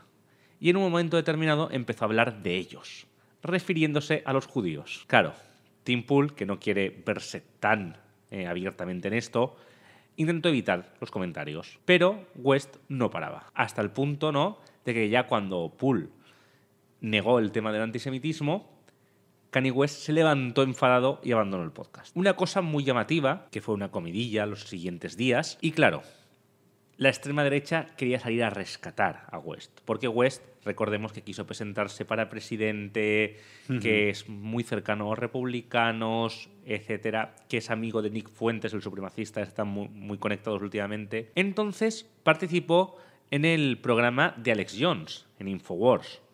Eh, que para la gente que no sepa, digamos que fue el gran precursor de todo el tema de fake news, bulos y mentiras, y que le ha hecho millonario, aunque afronta una multa de mil millones de dólares. Sí. Ahí es nada. Y conspiraciones muy locas. Conspiraciones, de hecho casi todo nace un poco de ahí. Y vender suplementos. Y vender suplementos. y participaban él y Nick Fuentes. Y claro, Alex Jones pues estaba ahí para demostrar que, bueno, que este hombre no tenía nada que ver con los nazis. ¿Qué pasó? Pues justo lo contrario, ¿no? Le dijo, pero bueno, eh, West, tú no tienes nada que ver con los nazis, eh, porque tú no eres nazi. Y claro, las respuestas de West era todo el rato que él amaba a todo el mundo, pero en especial a los nazis. O que él estaba muy de acuerdo con muchas cosas de Hitler, ¿no? Hasta que al final, antes de esa publicidad, acabó con un yo amo a Hitler. ¿no? Entonces, claro, ahí no había manera de esconder ¿no? lo que estaba diciendo. Entonces, se siguió liando más. De hecho, West, poco después, eh, compartió un símbolo de, eh, la, de la estrella de David con una esvástica dentro, que es el símbolo de, de una secta. Y además, hablándole, interpelando a Elon Musk, metiéndose con él, tras lo que Elon Musk le suspendió la cuenta. Recordemos que la cuenta se la había recuperado hacía tres días que también fue suspendida por conductas de odio. Y claro, la extrema derecha pues no sabía muy bien qué hacer, ¿no? De hecho, Tim Pool, antes de salir en el podcast de Alex Jones, dijo que, que este hombre sería el próximo presidente. Y tras esto dijo, oh, oh shit, ¿no? de, pero claro, no podía esconder lo que ha pasado. ¿Por qué hace esto? Pues bueno, es que el nazismo está ahora mismo como parte de, de, del trumpismo. Es decir, este señor además está muy bien relacionado con, con, Trump y los republicanos. La cena de acción de gracias, que fue hace nada, el invitado de Trump fue Kanye West. Y se presentó con Nick Fuentes a la cena. Que ahí saltaron todas las armas. Una cena muy interesante. Una cena muy interesante. Donald Trump, Kanye West y Nick Fuentes. claro. Y, y, demuestra un poco de qué va todo esto, ¿no? Porque Kanye West también eh, se presentó hace poco con una sudadera de, de, White Lives Matter, un título ¿no? de Las vidas blancas importan, usado por los supremacistas blancos y que lanza una, una, línea de ropa que por suerte no ha podido porque esas palabras están registradas por dos activistas del Black Lives Matter, para que nadie las pueda vender. Muy bien. Y, y claro, eh, te demuestra cómo todos estos republicanos están, están, metidos con los nazis. Que está claro que esto es algo que todo el mundo sabe, pero ellos se refugian en que eso es falso, que los nazis son socialistas, que los nazis son de izquierdas. Cuando te sale una personalidad de la extrema derecha y te dice, oye, que, que yo soy nazi y llamo a Hitler, ¿no? Uh -huh. Pues claro, entonces ya en ti empieza.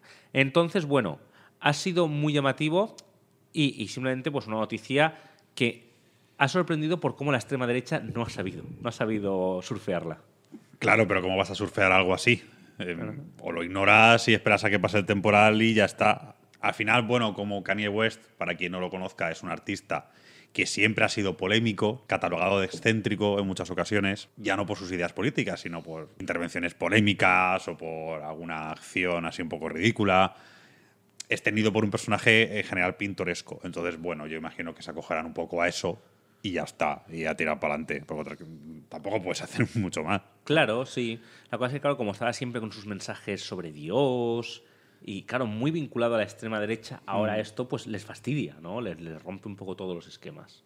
Y bueno, de esta noticia vamos a otra, y esta sí, bastante triste, y que nos demuestra el horror que traen los discursos de odio. Exactamente. Pasó hace ya un par de semanas a fecha de grabación del, de este episodio del podcast, y pasó también en Estados Unidos, en concreto en Colorado Springs, la ciudad más importante del estado de Colorado, donde un joven asaltó un club LGTB, en concreto el Club Q, y se lió a tiros con un arma automática, con un fusil. Se lió a tiros.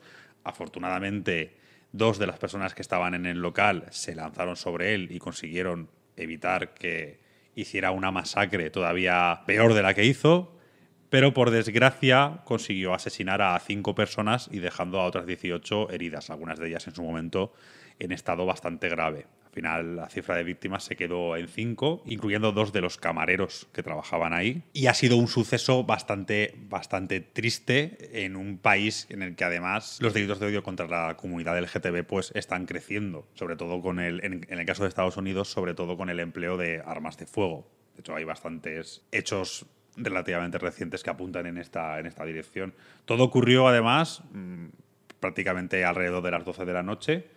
De hecho, la policía recibió el aviso eh, alrededor de las 11.55, 11.56, tras lo cual acudieron rápidamente, y, pero bueno, ya era, ya era tarde, ¿no? Ya habían conseguido reducir al tipo y sobre la una de la mañana aproximadamente pues ya tenían todos los datos.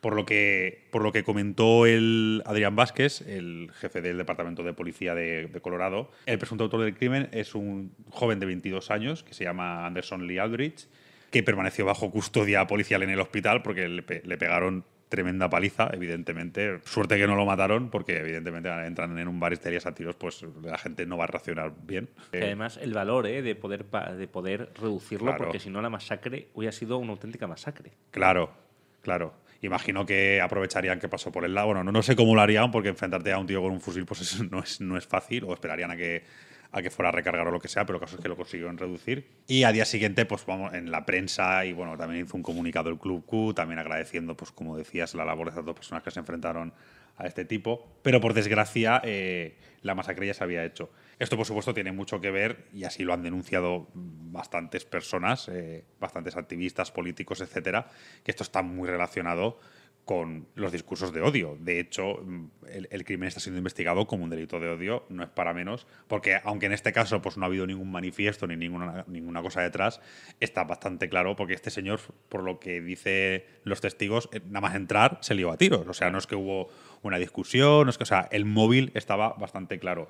Y una, una, cuestión curiosa es que, bueno, tanto republicanos como demócratas han condenado el acto, un asesinato ahí hay poco, poco margen de maniobra, pero una de las personas que lo ha hecho ha sido la, la representante por el Partido Republicano por, eh, por, el, por el distrito este de, de, Colorado donde estaba el bar, que es una mujer que se llama Lauren Boebert, que, bueno, condenó el acto y tal, y bueno, han aprovechado para recordarle de, oiga, que usted... Eh, ha publicado varios tweets y ha hablado bastantes veces en contra de la comunidad LGTB, más en concretamente con, contra la gente trans, de manera bastante abierta. Efectivamente, porque esto es un poco el tema del club, del club Q, ¿no? Que también hacía, hacía espectáculos de, con gente trans, creo que incluso algunos cuentacuentos de drag que se llama, ¿no? Que esto, pues bueno, simplemente es un drag que cuenta cuentos inclusivos y hay niños, ya está. Nada, nada, y eso hace durante el día con los padres y tal. Y esta gente es sexualizar a los niños, van a pervertirlos, van a tal.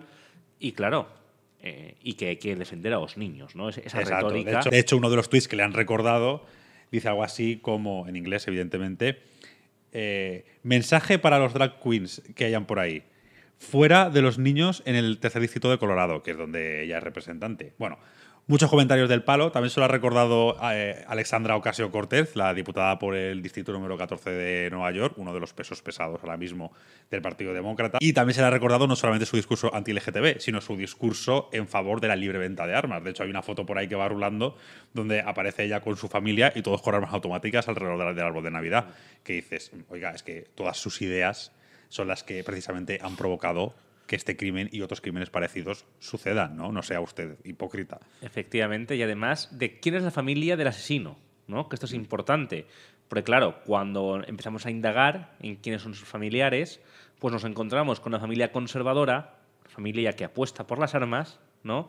Y mm. cuyo abuelo es un candidato de los republicanos, exactamente se promociona como un auténtico conservador, y además utilizando teorías de la conspiración, ¿no? En el mismo cartel electoral hablaba de bajos impuestos, libertad para las armas y vaciar el pantano. Una retórica que utilizan los seguidores de QAnon, refiriéndose a frase que dijo Trump y que ellos atribuyen a que era acabar con el Estado profundo, ¿no? vaciar el pantano. Entonces, claro, ya sabemos en qué se estaba inspirando, ¿no? con quién había hablado para esta, este delito de odio. Exactamente, es decir, su, su abuelo, como bien indicabas, es Randy Weppel, que perdió las primarias, las últimas primarias en las elecciones intermedias, en las últimas midterms, pero hasta entonces había sido eh, representante por el Partido Republicano en el Congreso.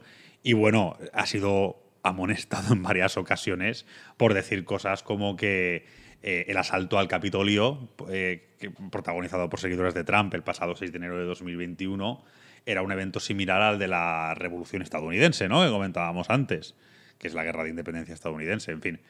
Una auténtica locura, la verdad, y por desgracia eh, esto va a seguir pasando mientras sigan proliferando los discursos de odio y esto es a lo que lleva la extrema derecha. Efectivamente, porque además hay que recordar brevemente que en Brasil, hace tan solo unos días, una noticia que ha tenido muy poco eco, un joven entraba en un instituto y mataba a tres profesores, hería a otros y luego se movía a otro instituto y hería a varios alumnos y mataba a uno. Y podemos un poco ver, ver, el móvil que tenía, ya que entró con varias esvásticas en el uniforme que llevaba y además una máscara de Atomwaffen eh, que está muy relacionada ahora, a día de hoy se la ponen mucho los libertarianos, los seguidores de Trump, Exactamente. etcétera. ¿no? Entonces vemos cómo a qué lleva ¿no? el discurso de la extrema derecha a que cada vez haya más y más atentados de carácter supremacista.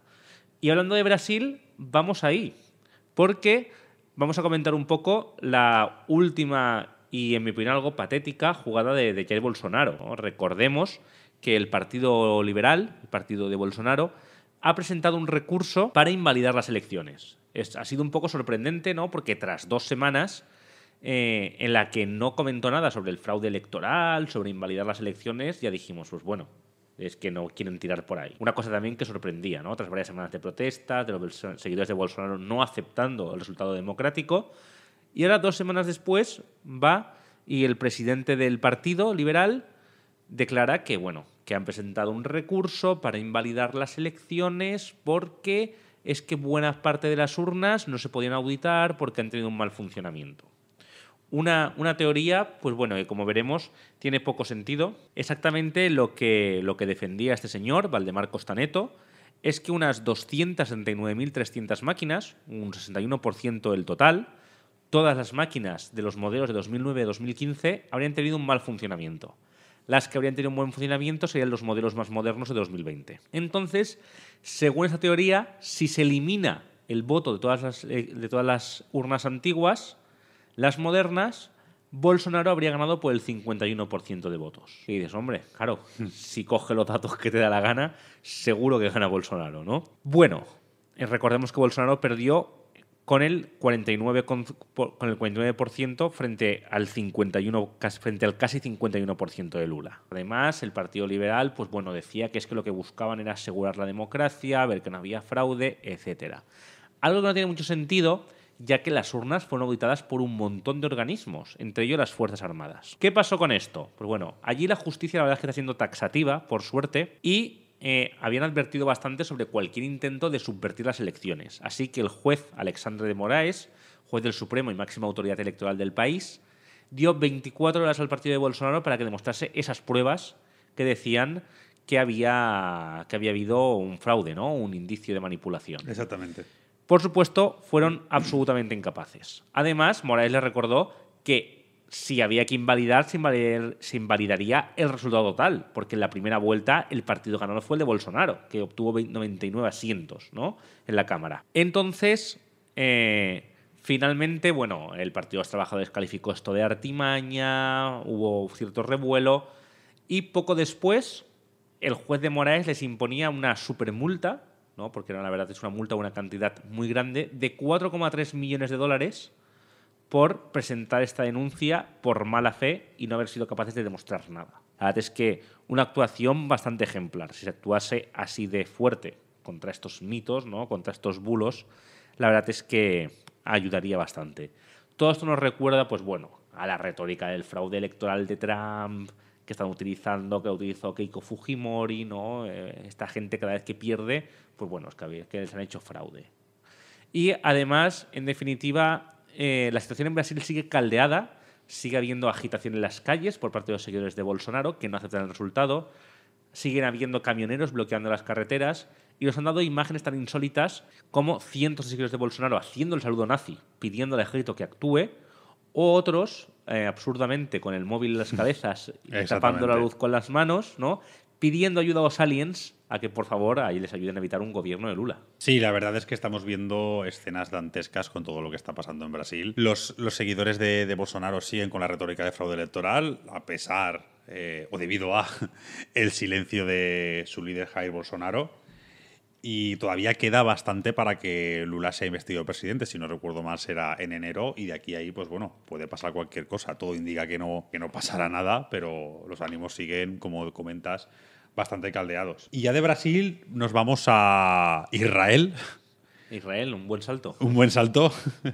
donde, como ya sabéis, las elecciones las ganó de nuevo Benjamin Netanyahu, que ya fue primer ministro del país, pero esta vez ha vuelto no solamente de la mano de su partido de derecha conservadora, Likud, sino también de la mano de varios partidos políticos, algunos de ellos muy de extrema derecha, de, de turbo, de turbo extrema derecha, como dicen por ahí. En este caso lo ha hecho llegando a un acuerdo con varios partidos, entre ellos sionismo religioso, que es un partido ultraortodoxo judío, bastante ultraconservador, al que ha llegado a un acuerdo después de varias semanas de negociación, porque las elecciones fueron ya hace por lo menos un par de meses. Su líder, Bezalel Smotrich, pedía en un primer eh, momento, en primera instancia, eh, que Benjamin Netanyahu le cediese los ministerios de defensa y de finanzas. Además, pedía controlar la administración civil del país, que a su vez se encarga de regular la política eh, de Israel en Cisjordania, que es la zona de Palestina donde Israel tiene varios asentamientos.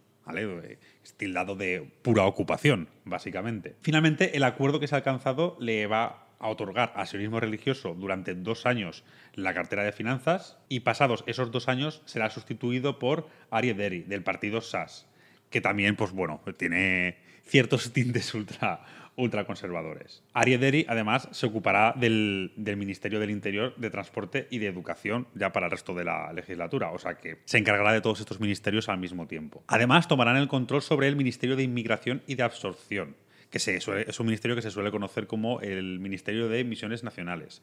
Y además liderarán comités parlamentarios que tienen bastante importancia dentro del gobierno de Israel, como es, por ejemplo, el Comité de Constitución, de Ley y de, y de Justicia. Es decir, la extrema derecha va a tener un papel fundamental en el gobierno de Benjamin Netanyahu, que además va a depender de ellos para que su gobierno sea estable en el tiempo. Por otro lado, aunque Netanyahu no ha hecho público muy buena parte de este acuerdo, eh, el portavoz de sionismo religioso ya ha confirmado que su partido tendrá el control sobre la planificación y la construcción del asentamiento en territorio cisjordano. Es decir, que van a gestionar las zonas ocupadas de Israel eh, en territorio palestino. Así se suma la última pieza que quedaba en este gran pacto de gobierno donde ya estaban otros partidos de extrema derecha, como Poder Judío y Noam, que ya habían negociado de manera individual con Netanyahu y habían alcanzado un acuerdo para poder gobernar. Solamente quedaba sionismo religioso y bueno, pues ya lo ha conseguido. Todo esto será efectivo supuestamente el día 11 de diciembre. El actual primer ministro podría pedir una prórroga y retrasarlo unos 14 días, pero todo indica que ya para el año que viene tendremos este nuevo gobierno de carácter ultraconservador, muy probablemente, por no decir que con total seguridad, el más conservador en toda la historia de Israel. Efectivamente, y todo esto no ha pasado sin querer, sino que ha sido fomentado por Netanyahu. De hecho, fue Netanyahu quien pidió a sionismo religioso y otras formaciones que participasen juntas en las elecciones para, para garantizar una mayoría de la derecha ¿no? en el gobierno más radical de la historia. Y además, recordemos que las facciones árabes boicotearon las elecciones, no participando, dado también estos resultados. Además, hay que saber algunas de las figuras que gobiernan sionismo religioso y estos partidos de extrema derecha, hasta qué punto son radicales. Uno de ellos es Ben Gvir, eh, una estrella en alza de la política, eh, de la política de Israel, quien ha entrado en barrios árabes con armas, ¿no? diciendo que esto es lo que había que hacer con los árabes, cuyo maestro y sus enseñanzas han sido catalogadas como terrorismo, y que hizo spots de campaña eh, asustando a la población israelí, ¿no? mostrando a los árabes como salvajes con cuchillos que iban a entrar a degollarlos. ¿no? Pues bueno, este señor es el que va a ayudar a gestionar esos territorios. Algo terrible, es decir, Israel está en una espiral, no una espiral derechista, eh, desde hace varias décadas, cada vez más militarista y supremacista en un endostado, como hemos comentado más de una vez, que además parece no tener fin y que quizás con este gobierno se traspasen ya todos los límites. Exactamente, no tiene ningún sentido que una persona o un partido que claramente agita un discurso de odio contra la población musulmana se encargue precisamente de gestionar los asentamientos israelíes en, en suelo cisjordano. O sea, es como poner al lobo al cuidado de las ovejas. O sea, es que no tiene ningún sentido. poner a Vox, ¿no? Cuidando Cataluña y el- Exactamente. O sea, hablamos de unos partidos que lo que quieren es la integración total del territorio palestino en Israel, que lo defienden abiertamente, que no son partidarios de ninguna solución diplomática, que ya sería de por sí bastante escandaloso, ¿no? Que precisamente las personas que no quieren ningún tipo de solución pactada con Palestina o ningún acuerdo de paz, que lo que quieren es simplemente acabar con todo y ocuparlo todo y se acabó, precisamente se encarguen de gestionar esos territorios. Ya se ha denunciado en numerosas ocasiones eh, violaciones de los derechos humanos en territorio palestino por parte de- del ejército israelí o de las eh, fuerzas militares o de las autoridades eh, del país en estos territorios, denunciado por muchas ONGs. De hecho, Netanyahu no ha hecho público el acuerdo precisamente porque, por, bueno, uno de los motivos se presume que es precisamente por evitar las críticas internacionales. Entonces, esto podría aumentar en un futuro próximo debido a este nuevo gobierno ¿no? y de la gestión que, que pueda hacer este partido. La verdad, bastante, bastante triste la deriva de Israel, bastante triste la deriva que está teniendo. No va a ser nada positivo este tipo de gobierno para alcanzar la paz en la zona y que de una vez se solucionen los conflictos que están habiendo ahí. Y lo único que podemos esperar si esto sigue así es una escalada todavía más grande en el conflicto que afecte además especialmente a, la población palestina. Y ahora pasamos a España y empezamos con Pilar Baselga, que se ha hecho tristemente más famosa estos días por diversas polémicas. Una de las que ahora mismo está construyendo a esta mujer, que para el que no sepa es una profesora, licenciada en Historia del Arte y, según sus palabras, buscadora de la verdad, es decir, que va difundiendo bulos y teorías conspiracionistas de manera normal. Además, las televisiones le han dado en distintas veces pábulo, en Todo es Mentira, en Antena 3 pero ahora podría enfrentarse a la cárcel. Y es que Pilar Baselga ha difundido el bulo ¿no? sobre el caso del Bar España. Recordemos, esta teoría de la conspiración nos habla de un bar situado en la carretera de Benicarló, provincia de Castellón, donde los niños eran objetos de abusos, ritual satánicos, etc. Y que además estaría, estaría perpetrado por un montón de gente importante como Carlos Fabra, Mónica Oltra, Fran- Francisco Camps. Este bulo además tiene poca base. Se encuentra lanzado por un hombre, Antonio Toscano, que decía ser periodista, criminólogo y que resultaba no ser nada de eso, y que además utilizó a gente con problemas psíquicos evidentes para difundir todas estas mentiras. Esta red pedófila, que nos recuerda un poco a un Pizzagate o a un canon cutre, ¿no? Eh, ha proseguido en el tiempo. Y Baselga defendía que esto era cierto. Pues bueno, estas difamaciones, que además han hecho daño a muchas personas, la están acercando ahora a la cárcel. Por, eh, por difundir este bulo del Bar España, Baselga se enfrenta a una pena de siete años de cárcel por delitos continuados contra integridad moral y de calumnias e injurias con publicidad, además de a una multa de 45.000 euros con una responsabilidad civil de hasta 2,4 millones. Ahí es nada, ¿no? Además, otros ocho difusores de bulos se encontrarían también eh, en el ámbito de esta denuncia. La verdad es que, bueno, creo que empieza a estar un poco bien que estos difusores de bulos, ¿no? Esta señora Baselga, Albise, Cristina Segui, empiecen un poco a pagar como les está pasando, ¿no? Porque últimamente están todos pagando multas y sanciones porque lo que no puede ser es que sean impunes a la hora de vertir mentiras y afrontar Exactamente. y, y dañar la reputación de los demás. Pero es que Baselga se ha hecho más popular estos días por un bulo que a nosotros nos pilla bastante cerca, ¿no, Adrián? la Sí. verdad es que Baselga se hizo conocida, más Baselga salió un poco a ser trending topic de Twitter por un vídeo de Distrito TV en el que hablaba de Begoña Gómez, ¿no? En el vídeo, Begoña Gómez hablaba de Begoña Gómez, la mujer de Pedro Sánchez. En el vídeo hablaba de cierta teoría de la conspiración y de la familia de Pedro Sánchez y tal, y dejaba caer que Begoña Gómez, en verdad, eh, habría sido una mujer trans, ¿no? Habría sido, como ellos lo llaman, Begoño. Algo que, que, bueno, como siempre, pues no tiene ni pies ni cabeza, pero ella salió diciendo totalmente en serio en televisión. Nosotros, por supuesto, nos hicimos un poco eco de esas respuestas, que además no es una teoría de la conspiración original de aquí.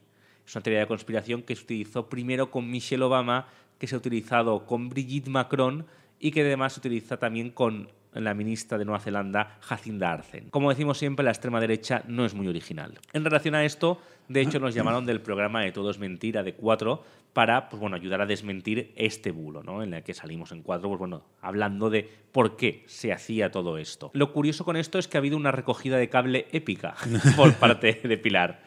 Eh, días después, Baselga salió en Distrito TV una vez más pidiendo perdón por el bulo, diciendo que esta información había sido falsa, diciendo que tenía familiares trans, por tanto no les deseaba nada malo. Y además, el propio presentador también pidió perdón y desde los directivos de Distrito TV se prohibió que Baselga volviera. Lo curioso es que en el vídeo de Baselga original, Baselga dice que esto de Begoño está bastante demostrado y bastante fundado, y el presentador dice, efectivamente, esto está todo demostrado. ¿no? Lo que ha sido una recogida de cable épica. Claro, alguna llamadita habrán recibido. Es que es normal, es que tú no puedes ir diciendo por ahí. Además, es un bulo tremendamente absurdo de masculinizar a las mujeres de varios presidentes o en el caso de en el caso de Nueva Zelanda directamente a la primera ministra con el objetivo de vender la idea de que o bien eran hombres o bien son hombres o con ese toque con ese toque transfobo que le meten, ¿no? Porque, bueno, y si hubiera sido un hombre, ¿qué pasa? Y si fuera un hombre, ¿qué pasa, no? Pero te lo pintan como algo malo, ¿vale? Te lo relacionan con algo negativo y con el objetivo de desprestigiar al presidente de turno o al gobierno de turno. Es decir, es que es algo es tan ridículo como mezquino al mismo tiempo. Que bueno, yo creo que eso define muy bien a la extrema derecha, es ridícula y mezquina.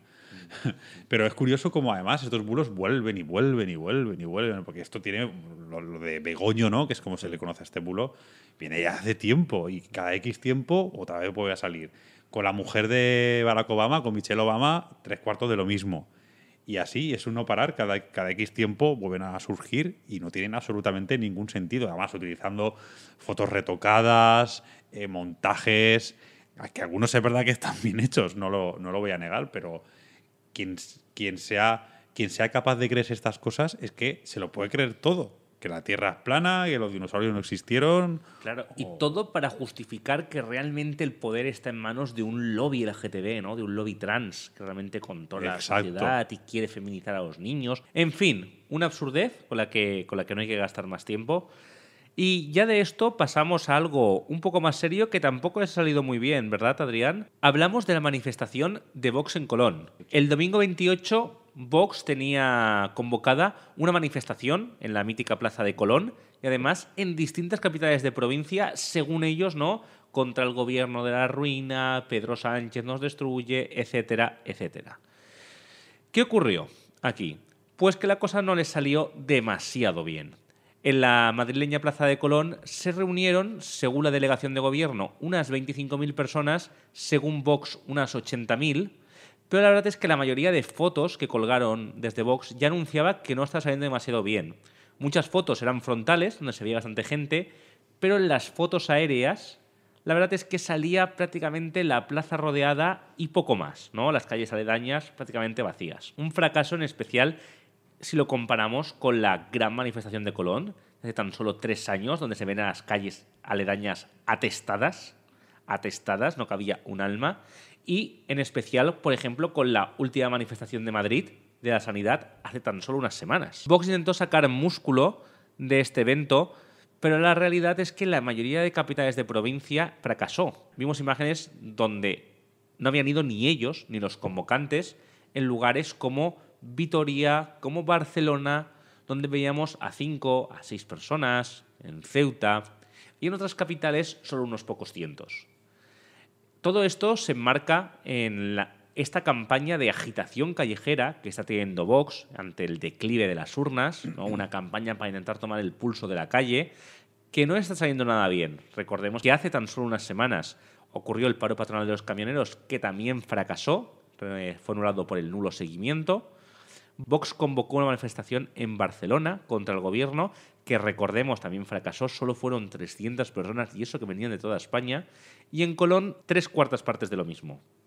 En definitiva, una estrategia que Vox está intentando utilizar pero que no le está saliendo nada bien. Pues sí, como has dicho, en la Plaza de Colón, pues según delegación de gobierno, como has comentado, consiguió reunir a unas 25.000 personas, aunque bueno, ellos dicen, pues eso, que son 80.000, pero como bien has indicado, las fotografías están ahí y la comparativa con la manifestación de sanidad es bastante, bastante ridícula. Pero es que en las ciudades de provincia donde también convocó concentración, como fue por ejemplo Valencia, Alicante, Sevilla, Granada, Valladolid, fueron muchas menos. En el mejor de los casos llegaron a mil personas, pero es que ni eso. Y, eso contando con que además de Vox, también se había sumado a la convocatoria el sindicato Solidaridad. De hecho, los manifiestos que se leyeron fueron siempre con el diputado de Vox de la provincia de turno junto al representante del sindicato de la provincia de turno. ¿no? En el caso de la Plaza de Colón, pues fue Santiago Abascal y Rodrigo Alonso pues, líder de Vox y de Solidaridad respectivamente, y en el resto se repitió este mismo modus operandi. Lo más gracioso fue, por ejemplo, en Valladolid,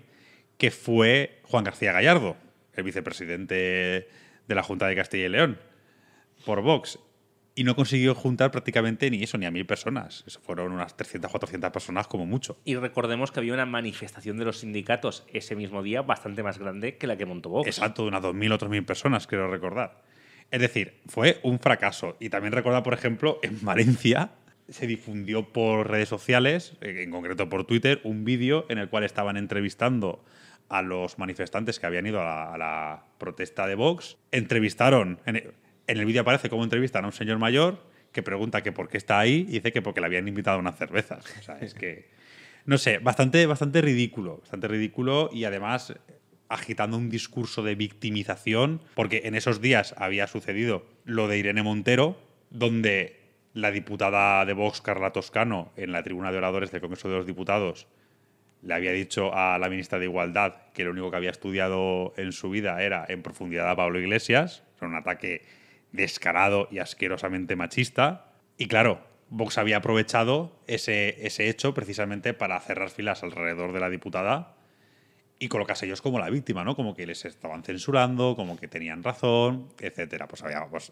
había aprovechado para eso y ya de paso, pues para quejarse de un montón de cosas más del gobierno, como por ejemplo la reforma de la ley de, sedición, por delito de sedición, por los elevados impuestos, por la ruina, bueno, y, y la situación económica, que además dices, esta realidad choca con la realidad que tenemos, ¿no? Exactamente. Es decir, estamos con el menor paro desde 2007, desde la gran recesión, y además somos el país con la menor inflación de la zona euro. a, principios de diciembre, ¿no? que es cuando se está grabando esto. Claro que la situación no es todo buena porque estamos en un contexto internacional terrible, ¿no? con la guerra de Ucrania, eh, las secuelas del COVID y tal, pero España, como dicen todos los informes, va a capear la situación mucho mejor que otros países gracias, entre otras medidas, al tope de gas, algunas medidas para la energía. Exacto, es decir, no tiene ningún tipo de fundamento y la prueba está en, el, en que han perdido totalmente el pulso en las calles. Y eso correlaciona, como bien has comentado antes, con una fuerte bajada en los sondeos y con una poderosa crisis interna motivada en buena medida no solamente por el autoritarismo que ejerce Vox dentro de la formación, según apuntan varias denuncias de, militantes, ex militantes y de gente que ha salido del partido, sino también por el frente abierto con Macarena Olona. Y hasta aquí la actualidad, donde hemos hecho un buen repaso de todas las noticias más relevantes sobre la extrema derecha, porque la verdad es que este mes ha venido cargadito. Y de aquí nos vamos al ultra del mes, donde Adrián nos va a traer, pues bueno, un discurso llamativo de la extrema derecha que vamos a ver a continuación. Sí, como sabéis, el ultra del mes eh, es la sección donde, bueno, escogemos una declaración polémica, extravagante, que además de graciosa o pintoresca, pues refleja bastante bien, ¿no? Pues lo que es esta gente y lo que representa. Y esta vez lo que hemos traído seguramente ya os sonará a la audiencia porque, bueno, ha salido por todas partes, pero lo teníamos que traer. Y es lo que vais a escuchar a continuación. Hay que tenerla de cemento armado para insultar a profesionales que se han pasado años de su vida estudiando Derecho y una oposición, cuando el único mérito que tiene usted es haber estudiado en profundidad a Pablo Iglesias. Señora ministra, Usted sabía que su ley rebajaría las penas. Para tiempo.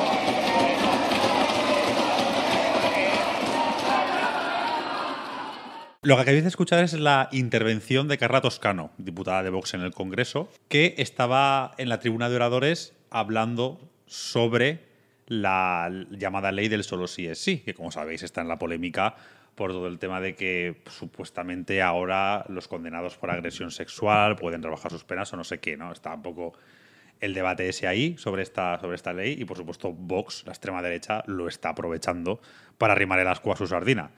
Aquí Carla Toscano pues estaba interviniendo, como he dicho, sobre esa ley y en un momento dado, bueno, por supuesto, durante toda su intervención cargó duramente contra Irene Montero, la ministra de Igualdad, llamándola libertadora de violadores, que si defendía la pedofilia, etcétera. Y en última instancia dijo, como habéis escuchado, que lo único que había estudiado en profundidad es a Pablo Iglesias, por supuesto haciendo alusión a su relación con él. Comentario ya no súper fuera de lugar, ya de por sí toda la intervención es un ataque continuo, sino es que encima haciendo alusión a una cuestión personal, dando a entender, ¿no? Pues el típico ataque que se le suele hacer a Irene Montero, que como trabajó de cajera y sale con Pablo Iglesias, pues ya está, está ahí porque no vale para nada y debido a que, pues se acuesta con Pablo Iglesias, lo cual es, mm, en fin, una machistada en toda regla. Efectivamente, porque además hay que recordar que Irene Montero ya era la segunda del partido en 2015-2016, es decir, ella pertenecía a la directiva de Podemos y ya era una de las personas más relevantes de la formación, antes de salir con Pablo Iglesias. Exactamente, y además en cuanto a su preparación, Irene Montero, aparte de que tiene estudios, evidentemente, fue becada para la Universidad de Harvard, solo que al final no lo aceptó. Claro. Y, por ejemplo, nosotros no, no se nos ocurriría decir la señora vicepresidenta de la Comunidad de Madrid, community manager del Perro Pecas, ¿no? O Santiago Abascal, que no ha hecho nada, ¿no? ¿Qué, ha sido? ¿Santiago Abascal dueño de un bar? Es una forma de desvalorizar a la ministra, que es un blanco continuo de la extrema derecha, es decir, es el ataque que sufre y la violencia política que ha sufrido es demencial, y bueno, lo que está sufriendo es demencial. De hecho, en esa misma intervención, a la que Irene Montero, como habéis escuchado, respondió de manera bastante contundente y bastante correcta, en nuestra humilde opinión, acabó llorando de la, de la frustración. Y ante eso que hizo Carla Toscano, burlarse y reírse. Es decir, es que ya, ya no es que sean de extrema derecha o no de extrema derecha o defiendan las ideas que defiendan. Es que encima son gente súper maleducada, rozando al típico bully del patio del colegio. Son bullies. Yo, lo siempre lo he que- pensado. Esta gente de pequeña es la que se metía con los demás, la que los aplastaba. Es ese y ahora se han venido arriba de que eso en verdad está bien, de que aplastar al resto está bien. Y la gente adulta sabemos que eso está mal, que eso es una cosa que alguna gente hizo en el colegio y otros la sufrieron y que siempre estuvo mal. ¿no? Sí, y sí, ahora sí. se lucha contra el bullying y estos se salen haciéndolo. ataques descarados, a, ataques personales descaradísimos, que encima les llamas al orden y les dices que que eso no se puede hacer. O sea, no se puede hacer de normal, pero en un congreso donde se supone que es una cámara seria que representa a la sociedad española, en las instituciones, pues todavía menos. Y encima, cuando les dices eso, es que les estás censurando, es que no pueden, porque eso es lo que gritaba ella, ¿no? Cuando todo el mundo empezó a protestar, ella gritaba libertad, como diciendo, no, yo tengo aquí libertad para decir hacer lo que me dé la gana, y si no la tengo es que me estás censurando, etcétera, etcétera. De hecho, los problemas y los conflictos en el Congreso por las intervenciones de Vox es que han continuado. Es que han continuado. Hace muy poco, a fecha de grabación de este episodio, con Patricia Rueda, la diputada de Vox por Málaga, debatiendo sobre la feria de la Expo del año 2027, llamando a los socios de gobierno de Pedro Sánchez golpistas, delincuentes, filoetarras y toda una serie de lindezas ante la cual el vicepresidente le dijo, oiga, o retira esto y para, o, o se sienta. Evidentemente no lo hizo, y lo que hizo la bancada de Vox es retirarse del Congreso y hacer una rueda de prensa fuera, todos juntos, a defenderla. No solo, no solo a reafirmarse con las palabras que había dicho, sino encima colocándose en el, papel de víctimas, como diciendo, es que eso es lo que piensan millones de españoles, solamente tenemos que decir la verdad, es que nos censuran, es que Pedro Sánchez y el PSOE han asaltado a las instituciones y la Cámara era el último reducto y ahora se han apoderado de él. O sea, ¿de qué cojones vas? O sea, es que es, que es, es, que es increíble. Y encima la reacción tampoco ha sido la correcta, porque ¿qué ha hecho el PSOE? Es decir, lo que ha hecho es, no, vamos a rebajar la tensión y por lo tanto ya no se puede llamar fascistas a Vox. Y tú, fascistas es un término político. gilipollas no es ningún término político, ¿no? Es que es increíble. Insultarte no es un término político. Que yo te llame fascista, neofascista, comunista, postfascista, eso sí que es un término político. ¿Cómo, ¿Cómo puede ser que en una cámara política los términos políticos no estén aceptados? Claro. No es una cosa para pensar. Además, quiero decir, en un momento donde gobierna el PSOE, en un gobierno de coalición con la izquierda, la palabra fascista está prohibida. ¿Qué, qué- qué va a pasar en el futuro? Es que es increíble, es que es increíble. En fin, Carra Toscano, te has llevado el premio al Ultra del Mes de la Trinchera. Felicidades. Bien merecido. Pues bueno, acabamos este podcast, que la verdad es que nos ha quedado un debate un poco largo, pero había bastante de lo que hablar y creo que es un tema muy interesante y poco conocido. También hemos recorrido lo que ha estado ocurriendo estas semanas alrededor del mundo y en especial en España, donde Vox ha tenido una actitud más intolerable que de costumbre, ¿no? Si esta gente, esta gente siempre es capaz de superarse a sí misma causando rechazo y donde hemos visto unas palabras ¿no? de las que ya han hecho un cartel, ¿no? con la intervención de Irene Montero de a los fascistas se les para con más derechos, que la verdad es que es una de las pocas cosas ¿no? para parar para parar el avance de la extrema derecha, efectivamente recuperar derechos para la ciudadanía. Toda la razón. La verdad es que ha sido un episodio de nuevo que, como bien has comentado, se va a quedar un poco largo, pero creo que todo lo que hemos comentado es bastante interesante, bastante de actualidad y creo que va a tener bastantes repercusiones en el futuro.